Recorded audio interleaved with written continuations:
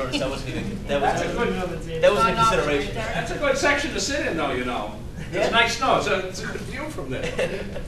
I mean, you could drink after the game, you know. True, true. Pre-game. the cheaper seats. Yeah, flask of it. Five Patriots game now. It wasn't opening day, the Patriots usually. Uh, roughly, yeah. Let's see. No, because I didn't. So we start now looking at trying to value personal and real property for damages, which is really more in the traditional realm of uh, civil cases. Uh, When we've been talking up to now, in many of these cases, we've looked at uh, extraordinary relief, injunctions, declaratory judgments, uh, some of these family law issues where we might want specific performance or uh, some type of uh, negative injunction or an injunction requiring someone to do certain things. But in a lot of civil cases, what we really have to do is try to figure out what the appropriate value is uh, for the losses that have been suffered. And that is the goal of most civil cases, is to put the party in the position they would have been but for the wrong done by the defendant. So there's a number of articles that I want you to, to take a look at carefully and start to think about it, because at some point, and your, that point is coming for all of you a lot sooner at this point than you think, or maybe not soon enough for some of you, uh, that are suffering through your final semester uh, of studies here, Ms. Kelly and others. Um, But the point is that at some point, it's not just about making believe you're a lawyer and filing the right papers, it's about um, putting cash in your client's pocket, hopefully a little in your, your own along the way.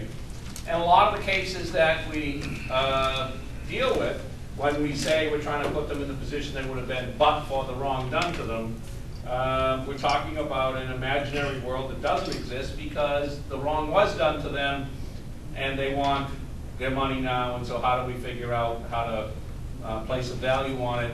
And, and this, for a lot of lawyers, I think, is where the rubber hits the road, because, okay, I get the theory, let's try and put them in a position they would have been but for the wrong, but what does the evidence look like under those circumstances? Not just what evidence can I use to prove it, but, well, where would I obtain the evidence? Who are the witnesses? Uh, What's the best way to try and put that information in? Because you can have the greatest liability case in the whole world, but if you can't prove damages, you're walking away with nothing. Um, And, and so is your client, obviously. And uh, the fact is, is that at the end of the day, if you can't prove both, you, you get nothing anyway. Um, And, and, and it, it may, it is overly simplistic to say, well, we're simply trying to put them back in the position they would have been but for the wrong done to them. But there are various ways, we, we saw it in the Jimmy's Pier Four case where uh, uh, restitution is, is, is different from expectancy damages in contract situations. Obviously, you plead both anyway, because at the time, you're never sure which, which might be the greatest, depending on how far along in the process you are. And now, when we start to look at some of these cases here, we're trying to put uh, numbers in fairly difficult areas, uh, and these are just sort of the, the simple, uh, well, some of these are more simple, but the articles talk about a woman's worth, gender bias, and we've got to be realistic that bias exists when we start to think about juries awarding potential damages, whether you want to take advantage of that bias or, or try to overcome it, depending on which side you represent. How do we prove partial loss of earning capacity? Someone whose earning capacity has been reduced but not uh, eliminated as a result of injuries, either temporarily or permanently. And then this notion about trying to think about settling the claim, resolving it with or without litigation, but mistakes people make, and, and how do we properly explain pain and the like. I, I always like to uh, start this exercise by, by simply asking you, so you, you, your car, Kelly decided to burn your car down. She, you, she was annoyed by one of your comments in class. She burned your car to the ground. What do you get for that? you get? What the car was worth at the time it got burned. Market value, what'd you say? What the car was worth when it got burned. Okay, so what the car was worth, that's market value. How do you prove that? Pardon? Kelley Blue Book? So the Kelley Blue Book is what it, and by the way, so I can just grab my little blue book, open up, say, here you go? I mean, is that, is that, how many of you have had evidence, and how, how many of you had evidence so far? Just everyone, but, stop it, you haven't had it yet? I haven't either. Oh, okay. Um, I'm sorry, so two. Well, for those, so that you guys are excused from the next question with the rest of them one. Um, This, this, you said Kelly, you said Kelley Blue Book. Well, well, that's hearsay, isn't it? Yes. No, that's an accepted manual, isn't it? We have to go. Oh, go my to. God. Yeah, I didn't remember him in that class. No, I wasn't Am I either. mistaken? Okay, so. It- It's hearsay, isn't it? So it is hearsay. So tell me how you're gonna prove the value, even assuming that, Blue- by the way, what is, you, because we do that, right? Kelley Blue, KBB.com. What is that? Well, who said, I mean, what, where, why do we accept that that's market value? Because this is what I heard, market value and what it's worth. Why do we assume that because someone put it in a book? Whose book is that? Kelly. Kelly. And not a good Kelly. So, still- it's still who- Whose, whose book is that? Dealer's book. The dealer's book. So the dealer's probably representing an accurate price, market value price for your vehicle, you figure? Because that's, that's the guy who's gonna be buying it back from you when you buy the new car, They've come right? up with new ones So- that are lower. What? They come up with new ones that are lower. So, but wait a minute though, right? Because in this, there's multiple values within that book, aren't there? Trade-in value, Private. private party value, dealer value, so which is it? Even assuming I'll accept your Ke- Kelley Blue Book as the market value or what you lost, which one of those is it? Private seller, I would, I would say. Private seller, you don't get the dealer. No, because they're gonna mark it up anyway. Well, but Vash has to go out and buy a new car, so now you say he's gotta find it from a private party? No warranty? Uh, no, because he's getting, like you just said, he's gonna be put back in the position that he was, but for Kelly's arson. So, So he So, has to go the- find what it he from a would- private dealer. he should get back what he would get if he was to sell it on the market. What if you traded it in? What if he didn't wanna sell it but wanted to buy it? I mean, he's gotta replace it, right? That's, at least the theory here is, well, now he's gotta go out and get another one. So, where's he supposed to get it from? Which, which number is the right market value? Even assuming that is, any of these are appropriate for market value. So, so if your insurance company say, listen, we're gonna give you Kelley Blue Book value, that, that is, that's it for you guys? Oh, okay, good, thanks. The depreciation of the, of the car. Well, but doesn't the market value reflect your depreciation? Yeah, whether the- the car. Based on the mileage. Based on the mileage.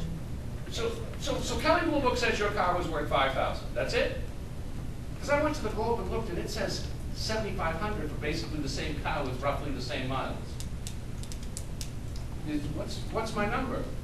And even assuming you've got your number, how do, how do you prove it? Okay, so you say, oh, well, listen, this is what it's worth. Says who? So receipts of what? Receipts are hearsay, aren't they? So, because, right, because you're the lawyer now, now you're introducing a case of some sort, I expect. A relatively simple case, loss of a car, right? This is not, this is not a big antitrust case. This is, Kelly burned my car, I'm giving you liability, prove me the value of your vehicle. So, how? Right, because that really is what I want to know. I would, I would think it would be what somebody else is willing to pay for that, so that's how we get the market value, what things are, are selling and buying at, so. Okay, how do you, you've had Look at more than one How do you establish, how do you prove market value? That's, that's all I'm asking you for, for a vehicle, for your motor vehicle. Which by itself, For Kelley Blue Book, I would have an expert testimony come in. X, so we're gonna have, we're gonna get an expert. Yeah, to say that Cha-ching. It's nationally recognized. Too much money. It's got So- too much money, but you understand. So it's nationally recognized as what? What's Kelley Blue Book nationally recognized as? A, Market report. uh, is it? Are you trying to make the market report so it'll fit one of your eight oh three exceptions over there? Is, is that true? Well, but there's several different ones that vary quite a bit in price. I mean, So- I I buy and sell a lot of cars, and uh, I tend to average prices out. I look at like NADA, Blue Book, uh, Edmunds.com. There's a lot of different ones that you can, And, and the values are different. very much so. And they're different lot of depending on whether he's buying in North Andover or perhaps some other town. Yep. So how do you prove market value? That's, we're still back to the same question. You've, you've got a relatively simple assignment.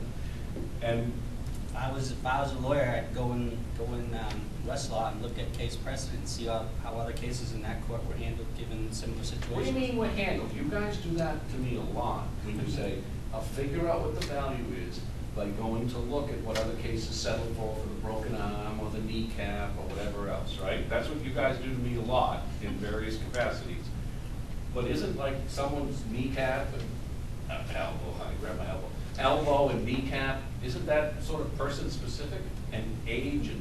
Gender and what you do with it? so. So, okay, so, uh, I mean, is that what, do we have to do that? A sixty-year-old woman's broken elbow is worth X, so your sixty-year-old woman's elbow is worth X, but, I mean, you better hope, I mean, is that how close we have to get, or is that sixty-year-old elbow worth about the same as that, the kid who was twenty years old? No. No.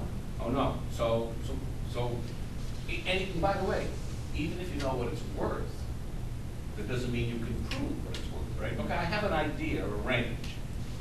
But seeing what other cases settle for or resolve for doesn't necessarily mean that's what your case is, that you're gonna be able to prove. Because even if that's what it's worth, if you don't know, if you can't prove your damages, it's not worth anything, right? I think I can beat you, because you're inept. I'm probably not gonna offer you what you'd like. I, I may not offer you anything anyway. I might, right, I might call you bluff. Then, you think you can prove it, go ahead. Because I'm not feeling terribly worried about this car case right now.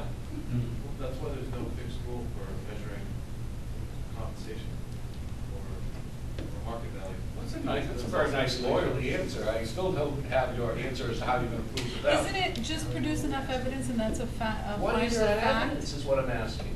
What's the evidence? He buys and sells a lot of cars. We're gonna call an expert, because that gets money, or can we just ask him? Can you testify to the value of your own car? Do you know the value, do, do you know the value of your own vehicle? None of you? You don't know what it would cost to replace that vehicle in all likelihood? Not much. No. Huh? Do you? You must at least, because you, you, right? Yeah, roughly. So does that, doesn't anyone else feel that way, that if I, oh, so, so let, let me just, let me ask you a serious question then. So your car gets totaled tomorrow. Oh, God. The insurance company says, we're gonna give you X. That's the end of the dialogue? Thank you very much. Please, sir, can I have some more? I mean, really, that's the way that works, because, because they said, that. I said, no, no, that's not good enough. That car's not, that car's worth more than that. Shall we prove that it's worth more than that? I, I will. I know, and that's what I'm asking you to do. Tell me what, tell me what. That's But, but, but, you do know that, right? You don't have to accept what they say. You can say, no. And hope, and some of your clients are now with you and say, no, I'm not taking that, or we're just gonna take the insurance company out of the equation. You need to prove the value of this loss.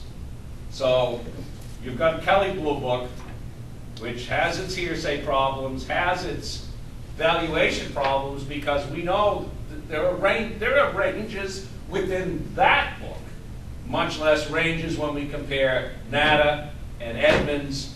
Peterson's, I think, has an online pricing guide as well.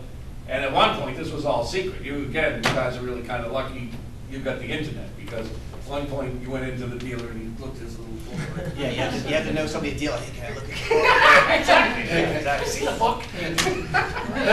But so you guys have, it. you guys have it much better than when we had to walk to and from school with no, s- no s- uh, shoes in the snow. Um, But, but so tell me, I still don't know how you're gonna prove the value of that vehicle. I'm gonna do it the way I said it. I'm gonna. I didn't hear you say it. Um, I didn't talk about arms and legs. I'm gonna see if another case is used Blue Book or nada. If, if it's you, what sources they're using for expert source, that I can use that case as in that particular Well. So, and what do you think that is? Whatever they use, you know, if they, I'm sure that, I'm sure they run into this as a common problem. I'm sure they do it all the time in cases. So- First of all, Gary, how are you gonna afford Westlaw when you get out of high school, uh, uh, There's other sources to look at is, cases, so you just follow the cases. But I think you said Westlaw though, that's what you said earlier. Yeah. Okay. I mean, there's Google, there's Google, um. West- Westlaw actually has some packages for uh, uh, lawyers that are relatively modest in prices, like the junkie, they want to hook you in the to buy some more. So, Why, why couldn't you take, you know, the community want ads and other advertises, advertisements for uh, vehicles comparable to the one you had, or the one you wanna replace it with, and make a, make a sort of composite of that, come up with a, a, a fair deal. I think the problem with that is those are asking prices. Those aren't what people are paying for, them. those are only asking well, prices. well, let me ask you though, even if they're asking It prices, could still be replacement value. what about That's what they're gonna hearsay? be asking when I go to buy the. Well, what about hearsay though? I mean, you're saying, okay, so I, right, because newspapers are hearsay, Yeah. the sor- the sources you've got have some problems with proof as you start to think about it. And, and that's what I want you to start to, to make that next push, is to just take the abstract, try to figure out, well, so, what would it be? Do I need to hire an expert? Because an expert's gonna cost you, I don't know, grand? What, so I, can- so you can lay the foundation to say, I buy and sell cars, I uh, regularly go to the auction, I know the market, by the way, is it auction price or is it retail price? replacement value for her would be retail, because she's retail customer. Well, retail, okay, but you already said retail private party, not retail dealer, and there's a, that's a big difference, right? So, I mean, I thought he's entitled to be put back in the position he was, but for this wrong. Mm-hmm. So why would that not include potential dealer sales if that's where he has to buy the vehicle? This is where I found it. I went to, I went to Kelly Jeep. Kelly Jeep has the 2005 Jeep Liberty for 5,000 bucks. That's what I lost, that's what I want, that's what I'm gonna buy. Why isn't that some measure of his damage? A measure. How, how do we get that into evidence? Can, can he go, Ash, go talk? I went to Kelly Jeep. I investigated what the market value would be. In order to replace mine, they have a Jeep on, on the premises, five thousand dollars. What do you think the value of your Jeep was? Five thousand dollars. Can a person testify to the value of their own things? None, of- half of you don't even know what the value of your car is worth. Do you know what the value of your pocketbooks are worth? Yes. So you know the value of your pocketbooks. But you do not, and I'll, you didn't answer, but I'll bet you do too, Rachel. Oh but, but you don't know the value of your motor vehicle. I know the value, you saw my vehicle, I don't. Your value of your shoes as well. You saw my car, I wouldn't know how. I haven't seen your car. My big high top black van out there, you can't, you can't miss it. But, I wouldn't know how much it is. I don't know how much I paid for it. do you, what about your houses? Do you know the market value of your houses or your apartments? I assume you do, because you must pay that rent or Yes. sunshine? No, you're still looking at me like, no. I know have what I people that take pay. care of that stuff for me. I know what I pay, but yeah, my husband takes care of that, so. Um, if you had to guess, it would simply be a guess. Well, knowing what the amount of miles that's on my truck, the type of work that I put into it, you know, making sure that I maintain my, my Jeep at the required times, every three thousand miles, I will always rotate my tires, get everything done. And it hasn't been any problem since I purchased it. Um, due to the amount of miles on there, the, the value appreciate the Jeeps, they hold, you know, pretty steady, so. So if you lost that Jeep, would you be able to sufficiently educate yourself that you might be able to go into court and provide a basis for what your loss is? Would that be acceptable method of, an acceptable method of proving losses? Because remember, generally, a person can't give an opinion, but that's what she's doing, isn't she? Opinion is to value. Do you know what your own things are worth, as a general matter? Let's take a look at this first case, and we'll come back, we'll come back to the same question, because I got other more difficult questions for you as well. But I, when you start to look at these, I want you to start to think about, okay, so, so what does that mean? Because here we've got this Strzelecki case versus Blazer Lakeside Industries. And it's a, it's a real estate, uh, loss here. Um, And so, um, what's the, wha- how do we prove the value of real estate that has been damaged? Here, what, what was it, a fire? Yes. Okay. Um, You know, there was this fire last week in Lawrence. um, And they should have had the hydrants working Mhm. better, first of all. Um, because it was in Lawrence? Huh? Is that because it was in Lawrence? Well, no, I think it's the Chicago fire, I saw just the same week, they were testing the hydrants out there. I don't know why our city of Lawrence wasn't testing their own hydrants. Um, Because, at any rate, due to insufficient water pressure, uh, the house is virtual, I mean, like, I haven't seen houses burn like that. Did you see it? Yes. I mean, really, it's like gone, like, like, I don't know how long they It's could have been down to burning to, to be like that. Um, I mean, seriously, it's been a long time since I saw, seen a fire burn that, like, co- you know. And it was two of them, of three houses, two of them burned down to nothing. Yeah, nothing. Yeah. They couldn't, they, they must have been incredibly engulfed with no water for a long time. But at any rate, houses in Lawrence are worth less than houses in Andover. Right? Fair, I think. So, for those two houses that are completely burned down, what's the, what's the value of the loss? Because I would, I would guarantee you, the replacement cost to go rebuild those houses is significantly more than market value, significant. You know, these, uh, where I grew up too, we have these large Victorian homes, but the neighborhood is bad.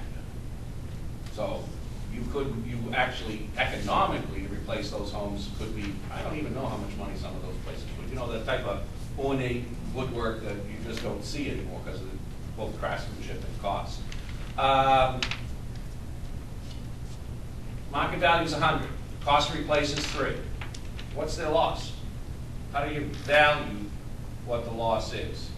Because that's, that's what you've got to introduce, is the value of that loss. So, how do we do it? According to this case, it says market value before and after the damage. Okay, but so if it's market value before, let's just take this situation. Market value of the house before is a, is a hundred. Mm-hmm. The market value after, you've got an empty lot of land in Lawrence, I don't know, ten grand, we'll say. Loss is ninety thousand, that's it. Is, is- is that right? Well, there's another measurement they use. Go ahead, what's the other measure? Um, uh, Prove damages for loss of the home and contents based on replacement cost less depreciation method of valuation. Okay, so, so another method of valuing the loss to real estate is replacement cost, less depreciation. But does it make a difference whether it is, um, there's three, let me, let me just do it this way, let me back up. There's three methods of valuing, uh, real estate. Market value, right? What would you get if you put that on the open market in a reasonable sale? That's the market value. Gary's point, number two, replacement cost, less depreciation. It's another way to value what the damages were. There's a third approach, it's not often used. It depends on when, it- what you use it, but there's a third legitimate approach. And oftentimes an appraiser, if you hired one, would provide all three. It's called the income approach. They would look to see if the, that property was rented out, this is what it would receive, based on that annual return, this is what it's worth as an income producing property. So there's three legitimate methods of valuing real estate. The problems also come in though, when we're talking about, and I think we saw these cases earlier, when we're talking about the difference between repairable and non-repairable property, right? If property is repairable, then as a general matter, we should repair it. And so it would be the cost of repair less depreciation would be a legitimate approach. However, when property is no longer repairable, that the damage is permanent and irreparable, then we have some real problems potentially. Because at the expense of repairs is more than the market value, there's a significant legitimate argument to be made that repairing it at this point is an ec- economic waste. Right, let's take our problem that we're working with. If you give me three hundred thousand dollars to fix that house, I'll be honest with you, I'm not gonna fix it. I'm gonna buy three. And now I've got three properties worth what I lost. Well, that's not being made whole, that's a windfall. So, on the other hand though, what if that's my home, that's my family home? I understand you're saying, well, it's all fungible, I could live on another street in another neighborhood, in another town, but it's not. Right, some people have lived in their homes all their lives. Some of you may have parents like that, we're not going anywhere, this is where we're gonna die. So, moving could be traumatic. How do we, how do we do that though? Because here they did in fact bring an expert in. Um, And experts can offer their opinion, those of us that have had evidence understand that as a general matter, lay witnesses can't offer their opinion unless it's one of the five S's, speech, speed, signature, sobriety, or sanity. So anytime someone's gonna tell us what they think, an opinion is what someone thinks, right? What the value is, that's what they think, then they have to be qualified as an expert. In order to be qualified as an expert, they have to possess background, Education. education, Experience. experience, and training, Training. right? They have to be beat, right, B-E-E-T. Um, And, and it's relatively easy to, to get a real estate appraiser who will fit that, those qualifications. But this is gonna cost you some money, because they're gonna have to do a market analysis, they're gonna, they're gonna actually show you comparables. It's actually, it's a, it's a pretty decent piece of work, that when you look at it, you say, okay, that, that's probably within a reasonable range. And that's the other part of this, right? When we're establishing damages, it's not certainty, you can never establish anything in this life with certainty. It's more likely than not, is that the measure of the damages. So we don't have to get to, that's for sure, because even with real estate, which is probably one of the relatively easiest things to value, um, it's never gonna be perfect conditions, perfect matches to houses and the like. Um, you know, my guess is you probably could get pretty close on condos and especially larger developments where you find a few comparables and they're virtually identical units.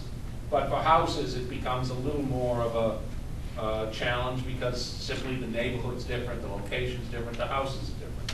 Um, But, but the expert can come in and testify. Problem is, the expert's gonna cost us money. So now we get back to our problem um, with, well, are there other ways to do it, what evidence would be acceptable? Um, This, this case, and there's a couple of questions I want to ask you as we go through this case. Uh, It's a, it's a products liability case, bad stove caused the fire. Um, It says here that um, they're appealing from an order granting defendant's motion for a directed verdict. What's that? What's a direct, motion for a directed verdict? When the judge instructs the jury, um, that they have to It's kind of, it's kind find in a certain manner. Yes,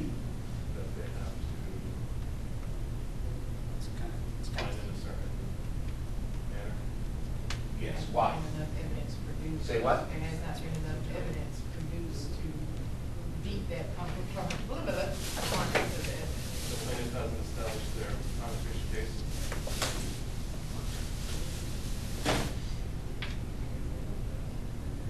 Directed verdict is bypassing a jury. It's the judge making the decision.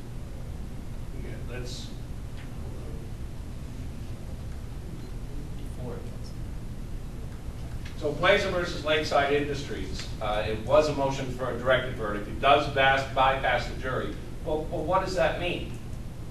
Because as we try to value damages, here, what the defendant saying in this case is the plaintiff hasn't really introduced sufficient evidence to prove their damages.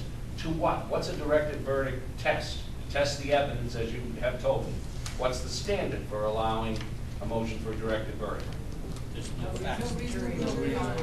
No reasonable jury, would find based on the evidence submitted for the other side, right? You're testing the sufficiency of the evidence to see And what they were saying here is there was insufficient evidence of what the loss was in this case. Um, So, so tell me, tell me the, tell me about this, these measures of loss that we look at for real estate. We said market value would be a fair approach. We said replacement cost less depreciation would be a fair approach. Which, by the way, that will leave the person short of being able to fix their home, won't it? Because they had a depreciated house.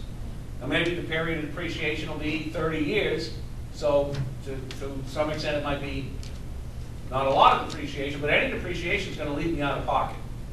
And then the last approach that isn't always used, but is available to be used, is an income approach. If this property was rented out, this is what it is. Here, they want to use, uh, is it a straight market value or replacement cost less depreciation? Market value before and after, however, if the injury is repairable, the expense of repairs is less than the market value. The measure of damage is the cost of repairs. So, I guess I'm still, and it says, replacement cost alone, without any deduction for depreciation, is not sufficient evidence of market value, right? And where this one's saying, thus under the above stated rule, which is the, the rule on the first page decision, the measure of damages is the market value of the real and personal property at the time the fire occurred.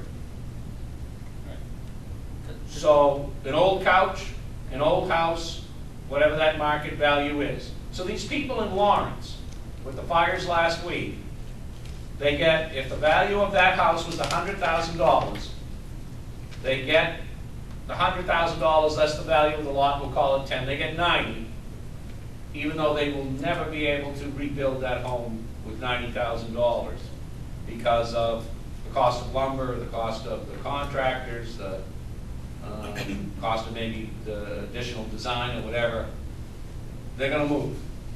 Even though the fire may have been no cause of their own, and someone else might be responsible, they cap them, they cap, their damages will cap at market value as opposed to replacement costs, less depreciation if that would gross, if that would exceed market value. Isn't it commonplace to insure your property for greater than what it's worth to, to account for that kind of? Well, you can actually, you can insure your, um, pro, you can insure your property for, uh, full replacement cost. Uh, you gotta make sure you do, um, because if not, you're not insured for that. You're insured for market value, and that may well be less, or replacement cost less depreciation, which even if a house is twenty years old, it's not really old by house, house ways, um, but you're gonna have a significant amount of depreciation taken out of that. But here's what you guys have to be careful about as well. There's a tendency to say, well, we can insure over it. When we're doing civil cases, there is, that insurance company isn't ours. We don't, haven't procured the insurance. The only way they're gonna kick in is if you establish liability of the defendant and can establish damages against the defendant, meaning proving your loss. And so if you can't prove your loss, you come up with nothing. Um, and, and I guess that's what I want us to start with, is what I think is a relatively easy approach on real estate. By the way, is your tax assessment, is that some evidence of value? Because it doesn't, most cities and towns, don't they assess the value of your real estate? They, by the way, they also assess the value of your, in Mass, we assess the value of your motor vehicle too, don't we? I'm not sure you want that. But it's not, that's not typically based on replacement costs. It's, there's a lot of politics going on. Well, it's not gonna be based on replacement cost, but it's supposed to be based on market value, isn't it? It's Supposed to be, but it's not, and, it- and it's well known that it's not. That's why I think case precedent's more accurate in here. Well, is that true? Well, I think ass- uh, assessments, I mean, you go from one town. Well, wait a minute, hold on, stop. You keep going with this case precedence. That's someone else's case, okay? That's someone else's case, someone else's house, someone else's injuries. That helps give us a, an idea of worth as the lawyer. Do not think that that establishes the market value or your loss in your case. Because at the end of the day, your loss, Your market value is based on the evidence you present at trial. And, and so you've gotta be really careful of that, because we look at cases, and especially if you think about it, a lot of times people will break their ankle, okay?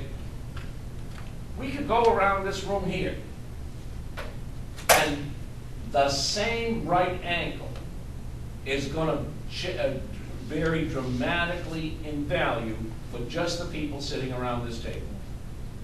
Okay, so that's the way it is. And even for those of you within a closer age range, some are more active than others, some more miles on the wheels, even though you're the same age, who knows? Yeah, you're, you're Right? mis- you're misinterpreting what I'm saying. I'm not saying to establish the value for that particular pe- entity that's in ca- in the case. I'm saying that you use case precedent to see what the standards are, what they use. Here, they use replacement value less depreciation. That's where you get your case precedent.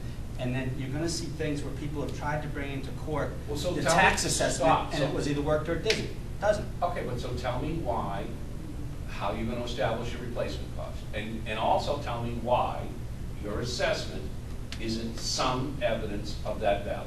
So- Because if I'm the insurance company and your town uses full assessment, full, it's supposed to be hundred percent replace, uh, value, your value is three hundred, I'm saying that's some evidence. And till you give us others that are more reliable, well, why isn't that some evidence of value? Could be, and if it's worked in other cases, then you can use it. But don't you think it would? What does the assessor's office do? Assess the value of, go ahead. That's what I was going to say earlier, is uh, I think from town to town it varies wildly, and I think that the, how often they update the assessments, sometimes it doesn't keep up with what the economy's doing. I've got a friend, his, his house is assessed for like 100 eight thousand higher than what you could even come close to getting. I'm under system okay with that right now. No, no, but, that's right. It depends on how, they're supposed to do it every three years, depends on how often they do, depends on when you last bought or sold it. It's either gonna be high or low, depending, because we've had dramatic swings like that within the last few years in the real estate in, in Massachusetts. Well, and all throughout all New England especially. Um, but, but I guess I'm wondering why that's to, uh, in some ways I'm hearing that's no proof of value. Really? Some it could. Why isn't it some? It may not be one you like. If it's a current assessment, I think it's. What's that mean, current assessment? If it was done that calendar year or that fiscal year, So last year's value is no indication of this year's value.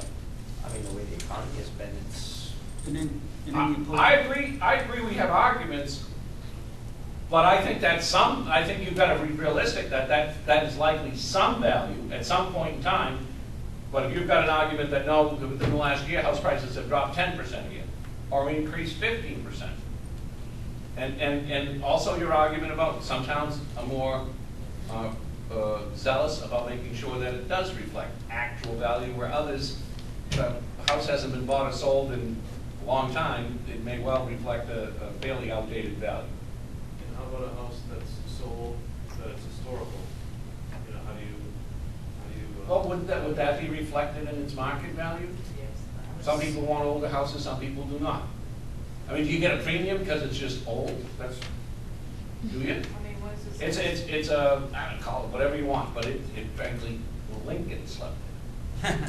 Is that, is that, is that, so does he get a premium when his house that Lincoln slept in burns? Do- Does he? I mean, I would see him, that'd be pretty impressive. Is that, or is it just market value? You think what? You think what, you're gonna give me a little extra money because Lincoln slept there? Well, I. Or is that, or should that be reflected naturally in market value? I think likely it's gonna happen, especially if a home. What's gonna happen? Historical, it will, you will get more money, you'll get more market value. um, So market value, even if Lincoln slept there, market value is market value. Whatever the, whatever that is. I'm saying, I think that you'll get more money because Lincoln's Lincoln's there. up. Okay, but wait a minute though. More money than market value, or Yes. market value will More money. reflect the added value that Lincoln slept in? More money. More money than market value. More money than market value. Because sometimes the market's climbing, sometimes it's, so this says, this says just says depreciation, but sometimes the market's appreciating. So it should be fair market value and take appreciation into consideration too, so you might be adding value. So it's not just depreciation, sometimes the real estate market's appreciating. Sometimes it's depreciating. It dep- it depends on the market. No, no, okay, but here, you're, you're, now you've mixed, I think you've mixed. So if you bought a house at a hundred thousand, it's now worth two hundred, that's market value, right? Two hundred is market value. Yeah. But when we're saying That's appreciation. replacement cost, no, no, wait a minute though, when they say replacement cost less depreciation, Yeah. they're not saying, you know, instead of appreciation, it's a different approach. We're saying replacement cost. What is the, what are the contractor's cost? What's the lumber cost? What's whatever design cost? What's the actual physical replacement cost entail? And then less depreciation. You don't get new windows, you gotta depreciate what it is you had, because you don't, you didn't have a brand new house. So use of it. The- Well, the, not just the use of it, the, the, the fact is that your oil burner is now twenty years old, that your windows now are are not Andersen new thermopane windows, they're twenty-year-old windows. That's what we're saying, is that you don't get a brand new house, you get, if you're gonna go replacement method, it's replacement less depreciation. And, and that's, that's where, that's where we have some worries as to how we go about it. I have some worries when we're saying, well, we're gonna make a distinction also between, um, houses that are completely destroyed and houses that are repairable. Because what if the house does bear these additional attachments to it? Lincoln slept there, or maybe not Lincoln, maybe to, to the homeowner, my grandmother was born in that house. Oh. We've lived there all these years. Our family celebrated our holidays here all the time. This is our home, right? And there are people, and especially I think older people, who that's, they don't, they're not leaving. And now, so, so now, now you're gonna say, well, you are. If you, if potentially, you don't get, you don't get replacement costs, less depreciation, you don't get market value, well, you may get market value, but that market value is not gonna be a sufficient amount of money to, to replace the actual house. Why not second that? Well, what about, I mean, can you, or is that, is that, because that's what I sort of just started hearing as well, Lincoln slept there, that's of some value. Is that, and so that's a value everyone would share that Lincoln slept there, or, no, my grandmother was born there, I was raised there. So, so I can collect for that? And collect what? That's, that's part of, that's over and above replacement cost less depreciation? The I would next, think so. the, the next case gets into that. Okay, let's talk about the next case, because I'm, I just, before we do though, it says the general principle is that proof of the, this is on three fourteen. Proof of the amount of damages may not be founded on mere conjecture or speculation, but mathematical certainty is not required. That's the Wolverine case. Think about that, right? We can never, we're never gonna get certain, but you do have to establish that value. More likely than not, that's the value of your loss. You know, real estate, we've got a variety of ways. We have the same thing with the car, if you think about it. If the car was burned, but we can fix it, then let's fix it. Less depreciation, not new tires, whatever, right? But if it's totally destroyed, we're looking at market value. Because no one would say, uh, listen, I want you to repair my, what do we use, 2005 Jeep. Um, Even if it costs $40,000 to repair, when we know the market value is somewhere around 10 or whatever it is, right? And so the same rule is when we start to look at it, but I have a little trouble with, with real estate in, in applying that principle as opposed to a vehicle. Okay, you don't live there, your families didn't celebrate certain holidays there. It doesn't have that, not just emotional attachment, but personal attachment, value. Depends on the car. I think it depends on the car. I'm gonna use mine as an example. Mine is for my handicapped son. My car burns, I have nothing. And the car costs a lot of money to make, the van costs a lot of money to, So if my car burns, I have nothing. How is your, how, why is your market different than mine? like I said, I think, I'm talking about the value, to value the, the, What year is it? huh, What year is it? two thousand seven, Okay, so it's five years old, six years old. right? Let's And it was custom forty thousand dollars to convert it, Oh, to just convert. yes. Okay, but suppose, suppose Kelly burns it down. Shooter. No offense. But it still may, it still, it still might be cheaper to buy a new one and retrofit it than to try and fix one that she has burned Oh, yeah. so I bad. agree, but I'm saying as far as, it wouldn't be just market value, wouldn't it be more than market value for that type of vehicle? That's what I'm asking. Oh, the market value, no, the market value says, the approach says you're entitled to get a two thousand and six, two thousand seven, that was high point, with all, with the equipment you had in it, Yeah. but no more. Even though it sounds personal and valued, valued by you, huh? That's terrible. No, but, but, but that's that, not- what, She for mental suffering. does she, for the loss of her vehicle? Because, Not no, seriously, because the guy gets us into Thursday's, ex- Thursday's exercise about the sheep. And my, my little dog Scout too, who we'll talk about. My son will suffer not having. And his favorite vehicle. teddy bear was Um, okay, but so do you get, do you get, do you get emotional distress, personal damages for loss of your personal property? Because I love this tape recorder, love it, love it, love it. But if something happens to this tape recorder, doesn't make a difference how much I love it, doesn't make a difference how much you love that van of yours, does it? I don't think it's so much as how much she loves the van, but it's more of, if anyone in here loses their car, we go to the lot and we can drive one off. Right. I They don't cannot. have these particular vehicles in stock, I'm guessing. No, So you have not to pay for for the a type of vehicle we need, correct. So, How long did it take them to retrofit the vehicle? Six months. Really? yeah, that's what I'm Six thinking. Yeah. Frustration. It So was she's pretty got six months of Six months substitute transportation costs. Do they rent these vehicles as well? No, Oh, please. honest to God, they do not. They don't. Honest to God, they don't. We had, when we, when it I happened could to us. find one, No, you will not find one big enough for my son, I guarantee you. I could, I could wager you, you will never. For the condition that he has. We're taking you bets, will not. people. You will not, And because it's contingent upon the condition. well, I, I need to see the Batmobile, obviously. You need to. Yes, you do. It's a one-of-a-kind item that takes six months to get I'm. I'm gonna tell you yes. Okay, then we're gonna go look at it And I wouldn't someday. say one of a kind, it's just that the condition Field that trip. he has is very rare in this area. So no But person, what special features does it have that makes it that unique? the size, Got a bat phone. But it's just big, no? it's, it's big, yes. I'm gonna have to look at it, because I don't, I, and I don't understand why it would take six months to put it together. That's a long time. You call right away and find out, I have no idea, Oh, that's, the, a company that makes this? Yes. Right, yes. okay. Because we had a van prior to this one. But, they- and they did, there's no used market? No. What happens is for this type of condition that he has, Yeah. you buy a conversion van, any conversion van that you buy, his head will go, he'll have to bend his head this way, he can't, because of his size. So Like you have to. Scooby-Doo. Worse than that. So you have to go and get this, it fitted, he actually has to get measured, he has to go for fittings three or four times, it's pretty horrific It's experience. personalized. Well, that Custom sounds, made. really, it's like personalized to him. Correct, for him, yes. Yes. I need one of those. And I mean, not for nothing, every But conversion. so, wait, wait, wait, a minute, though. so at the end of the day, okay, because I'm getting swept into this now too. Yeah.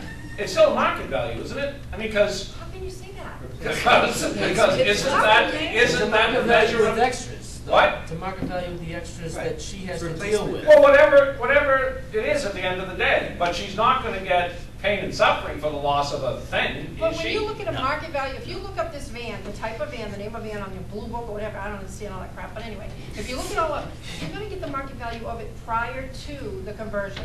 No, no, we're all agreeing, you get, the value of what you lost is, which is a fully converted van Yeah. that is equivalent to what your loss is. But that's what But I'm you saying, don't how do get- you do that? You're gonna look at market value, but that's not what I, I want, I want. No, we're gonna go to right away and say, this is what we need, what's that vehicle gonna cost us? And- and then- That's your loss, right? Right. And you look at what she paid to put into it for features too. Well, that's what I Well, would. that, that's what right away, we're gonna say, give us this vehicle. Will they buy a vehicle for you as well and and retrofit it? No, we have to purchase it and then they send it to them for retrofit. Okay, so she's got two measures of damages, the, the actual two thousand and seven vehicle Right. plus the retrofit. And depreciation though, right? Yeah, I It's know, all- that's what I was just thinking too, right? It's not, she's not, you're not getting, you're gonna be out of pocket if something happens to that van. That's why you insure it. I, I get that. That's why Right, depends, insure yeah, you should check and make sure you've got full replacement cost coverage on We that do. vehicle, because, because you're right, because she's got, what, six-year-old Wear- upgrades, wear and and tear, that, that you may not, I mean, you, that would cost probably double what you're, you, they may well give you to get the upgrades to your specs, specifications. Uh, but let me finish this, because I want to get to the next case too.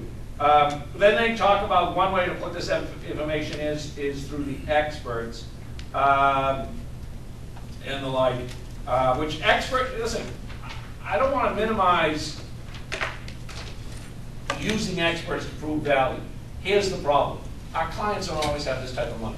Okay, when we talk, you know, for those of you that that we had evidence together, it's easy to say, just get an expert, okay? That money comes from somewhere. And oftentimes your clients do not have it. And if your clients do not have it, that means that's another item that you're putting up on the table here. Um, and so you've got to think about, well, how would I prove it if I didn't have an expert? And that's I'm asking you to start to think about is, well, what type of testimony is accepts, acceptable? What types of informations could I come in? I mean, Pat said, well, maybe we could sort of say that the Blue Book is a, a market records and reports. Maybe it is, I'm not so sure it is. Um, But again, so I'm gonna have to lay a foundation if that in fact is true before I can get it, get it introduced. I can't just take the, the damn book and put it into evidence. Someone has to be the vehicle for putting it in and establishing that foundation. And, and you need to start to think about that, right? I mean, I need you, as part of this course, to think about not just, okay, you know, give me the language that was acceptable in first year Civ Pro, as well, we're gonna make them whole, we're gonna put them back in the position they would have been but for the, the wrong done to them. What's that mean as we, we approach the end of our law school career? I know you can spit back the language. As a practical matter, what does that mean for introducing testimony and evidence? And what would that look like in the real world? The next case is this Campins versus Capel's case. Uh, He just simply wants the value of um, these uh, rings um, that were taken from him. I've got some items that I want you to value as well. Uh, I've got baseball, two baseballs actually, see, there's one baseball. I'll explain that story in a minute. I have another baseball.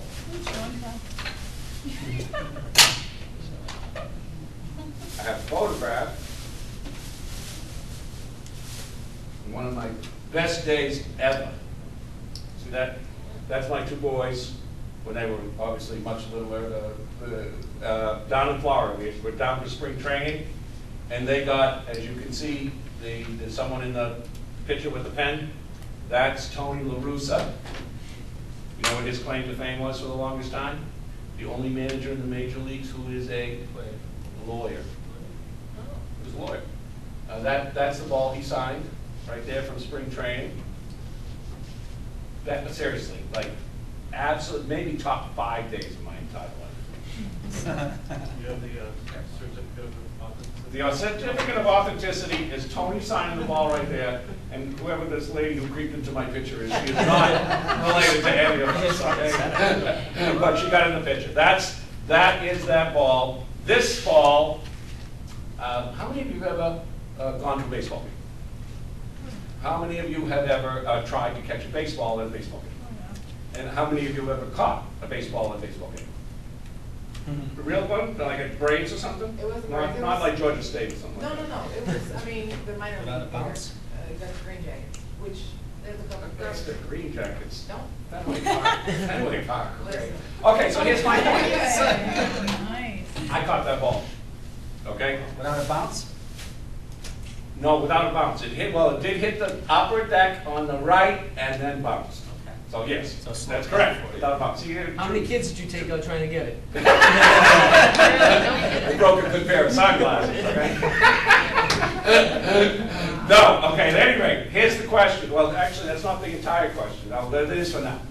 Um, How much are these worth? Priceless, there's things. Priceless, yes, they are priceless. I would not sell this ball. I would not sell either of those. So, so, but, you know what, Sunshine stole them from me. She heard about this, she heard about the Great Day. Sunshine has stolen these things from me, and so we need to sue her and, and get that, um, get, well, and, and she was so upset, she threw them into the Boston Harbor. So They're forever lost. Oh, I want to get money from her. How much? Wow. You gotta go to the market. Yep. and see what's out there. So what market? What do you mean? Is there a market for balls, Mike Scott? Collectibles. There's no market for the foul ball. Collect- collectibles. The black market. Uh, you always like that black. White market, the white market, we're in the white market. First, you have to establish that they even existed, because you could say, Well, I've seen, I- I've, you've all seen them now. And other people have seen them in years preceding this, so they, and they, some of them know and remember the story. So I wanna know what they were. The collectibles market. They, are- well, just the collectibles market, so is, I mean, is that what, how would you establish the value of this? I mean, take it to Pawn Stars. Stars to Le- is that the one with Les or is that the other one? That's, That's the one with, uh, That's hardcore. You could just, That's e- not you could just cool. email them, get you an answer. No, seriously, how would you establish the market? I, I have, I have one more item in my bag of tricks here, my duelist bag of tricks. Um, Those are rosary beads. So Sunshine decided to take those from me too. Uh, And those have, those have, uh, those have special healing, healing, not just sentimental, healing powers. I can tell you various stories.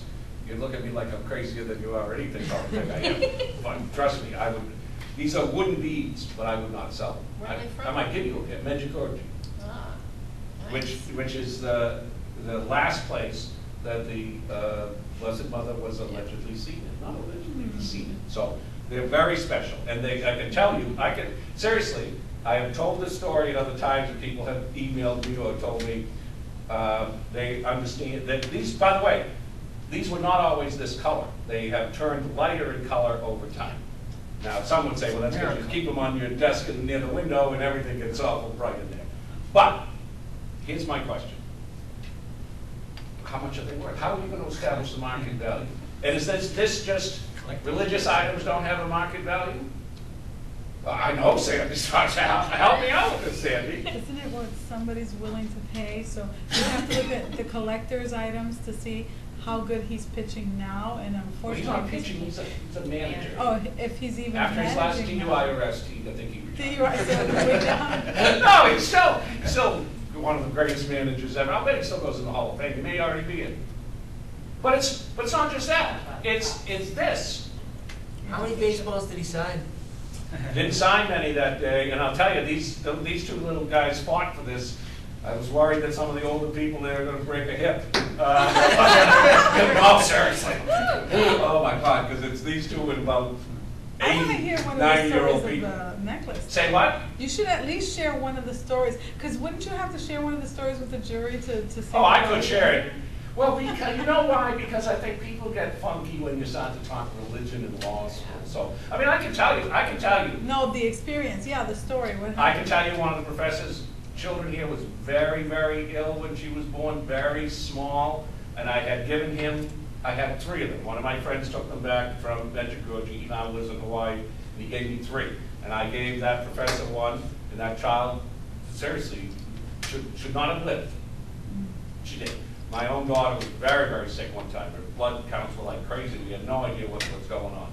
Um, Put that on her, you know, gave it to her, put it on her bed thing.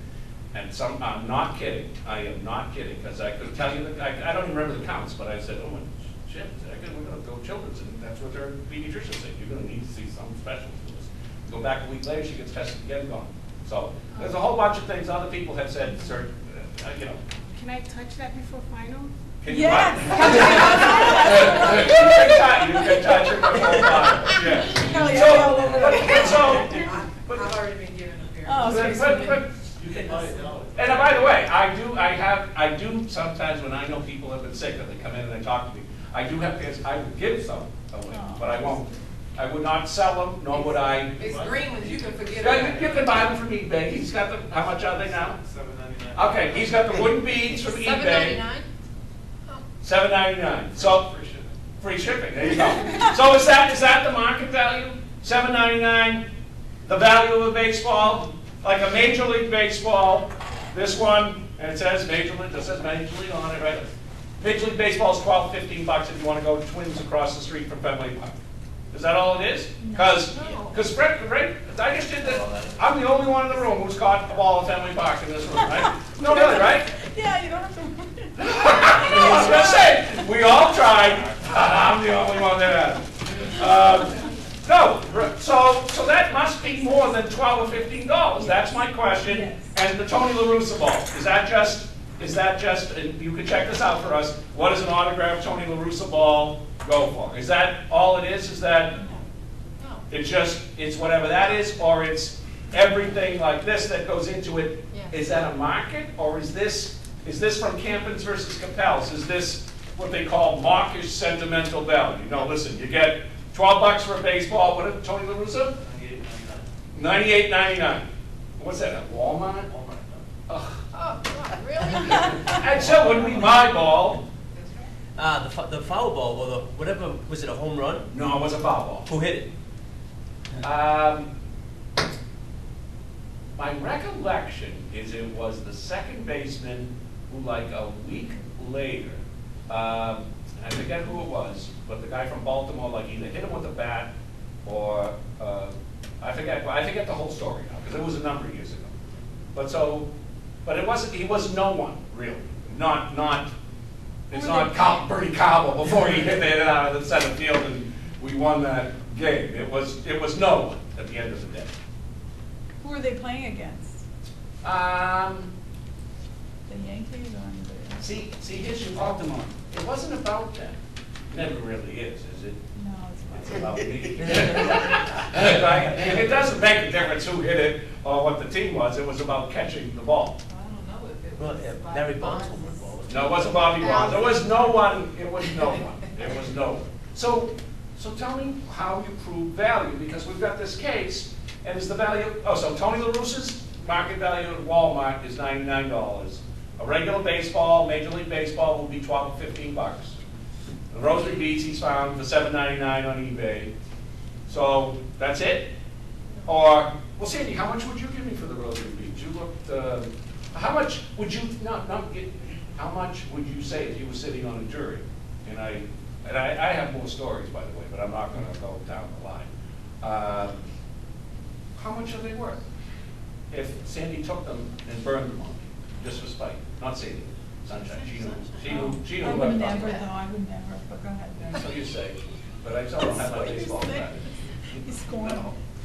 I don't know, I don't know how I value them, but I know that it's more than twelve, whatever you Yes, just said. seven That's just- said, the ba- uh, Seven. eight bucks, twelve, a hundred. There has to be sentimental value, like this case says, added into it. But can you? I thought we couldn't, because you could tell me, you could say, oh, this, this Aquafina bottle I have here, it's, was very attached to it, it's priceless, right? And that and that is what we worry about, is people cheating here, right? Kelly's Gap sweatshirt, you know what, this is my favorite sweatshirt. Well, I guess in this case, the rings, they said you couldn't buy on the market or something, correct? Did they not say that? Well, I think they were saying there's no uh, market really for these types of championship jewelry, although we could replace them by, you know, recasting them and using the gold and all the rest of it. So, so is that what it is? If there is a market, you take market, even though market, the value of these things, and seriously, the value of these things, but is it just sentiment, or, or just, what does sentiment mean? Does that mean it's just to you, or that, or what if there, if, there's a market that others would accept? Let's, Like let's, like isn't, isn't there a market that others would accept for the value of religious items of, uh, strong value to you? Is there? Or no? At the end of the day, no. No. Those pictures of, uh, well, whatever you have. Heirloom? They're not heirlooms, right? I go to the flea market, I was thinking those little pictures of Jesus you probably saw when we were little, you know, with the crown, you know, the dark. You could go to the flea market, and probably grab one tomorrow, right? Right. But, but it, but that was in my house when we were little. So is that, is that just go get it at the flea market? Or when Cindy burns that at me too, is there a value? Is there a value of items for which the market doesn't reflect the true value? Yes. So, so, so, so how do we establish it then in a civil case? How do we establish the value of these items, or say the value is not what the market would bear, because there's an additional value to that item? Yeah, I can go get another Major League Baseball for twelve, fifteen bucks. It will not be the one I got. So that's not gonna make me whole. Maybe five thousand dollars. No, go ahead. Well, I mean, same in the last case, you're gonna put it in front of a jury or a judge, and there's a certain amount of discretion, but then the other side's gonna have their say too. The, the, the other counsel's gonna say, in the last case, he's gonna say you're using the wrong expert, using the wrong source for your, your pricing of the house, or whatever. So there's, there's, a- that's why we go to court, so we can, both sides will argue it out, you'll argue your case in front of the jury, and they'll decide how much it's worth to you.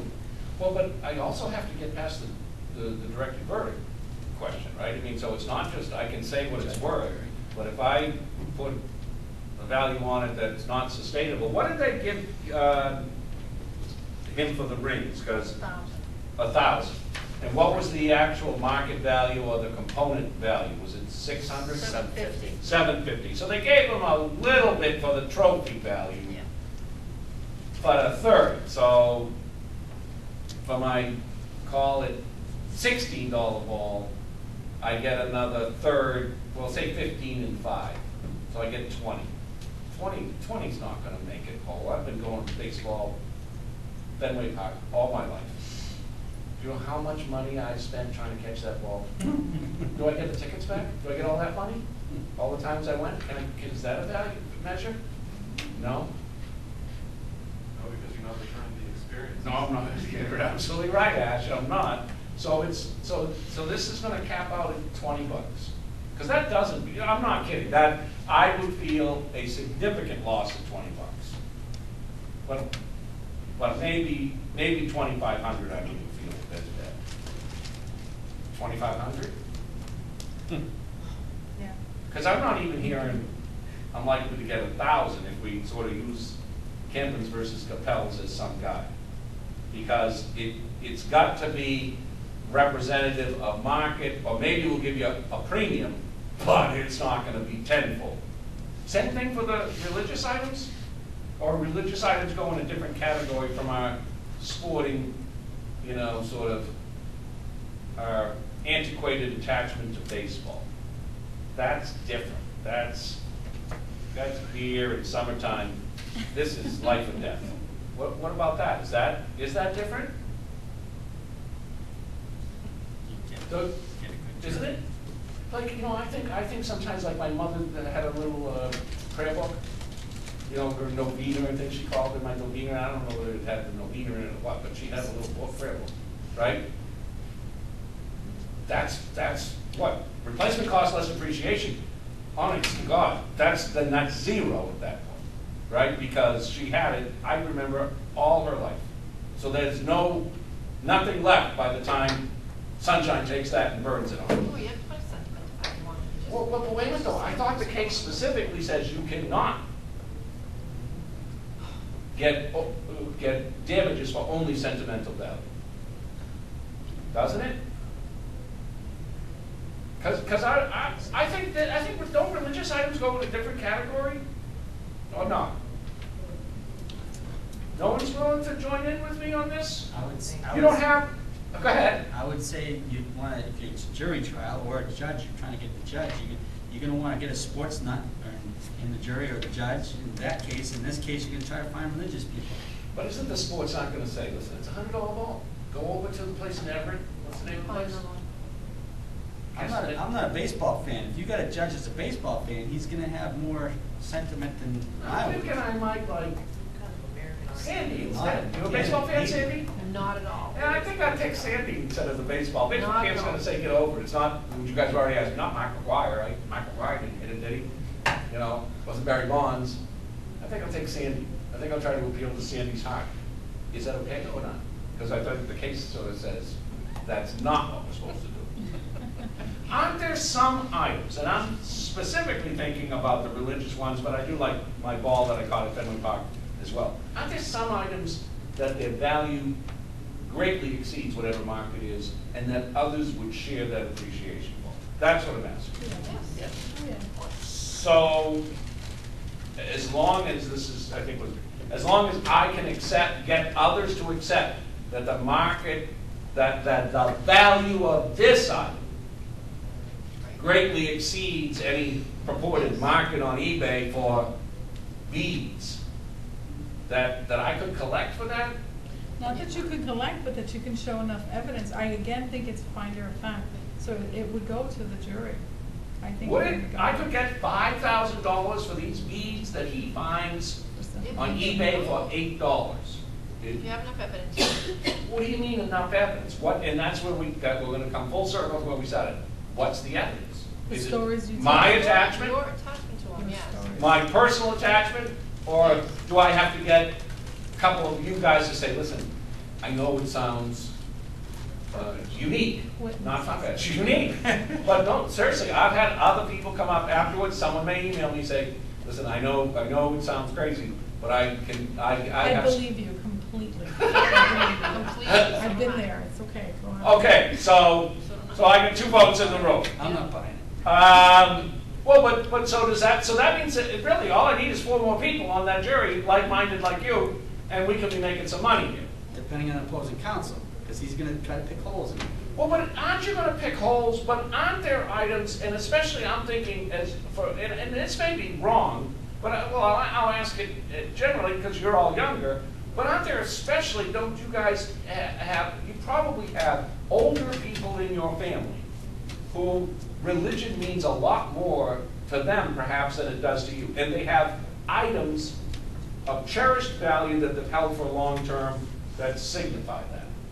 So, and many of us know people like that, so why isn't that establish a market? A market beyond the value, the commercial value to say, no, listen, sometimes these things will ex- grossly exceed the, the sum of their parts. Why can't, can't I sell that? Because I'm not just trying to sell it, I think, I think there's a legitimate group like that.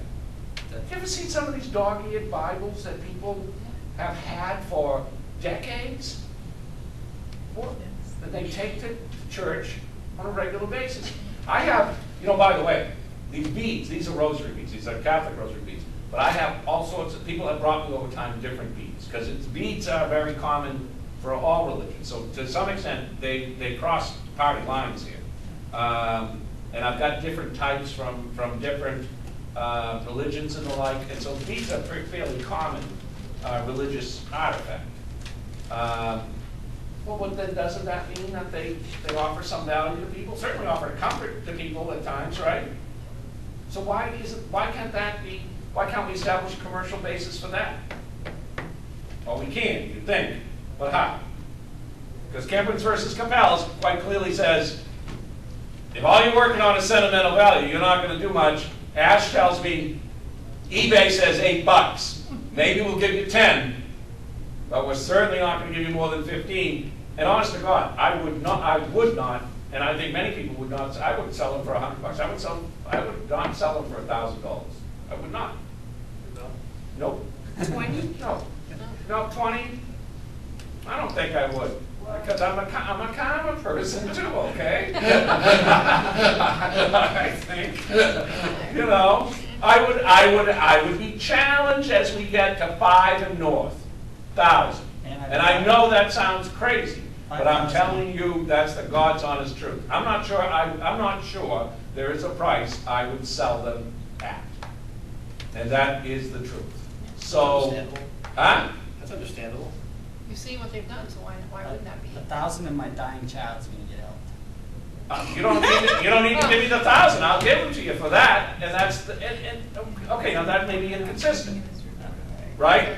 But, but, so what does that mean for value? I just want you to think about it because when we're looking at personal property, okay, listen, he found, Walmart has Tony's ball for a hundred, the reg- regular Major League Baseball is about fifteen bucks. He's found the beads on eBay. By the way, eBay establishes a market value?